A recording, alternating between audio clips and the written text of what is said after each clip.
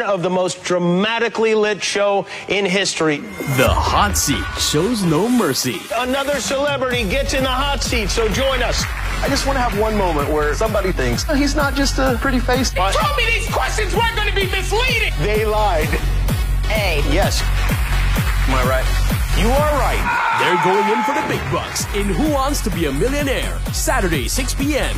It's always prime time, channel 704 and the AstroGo app.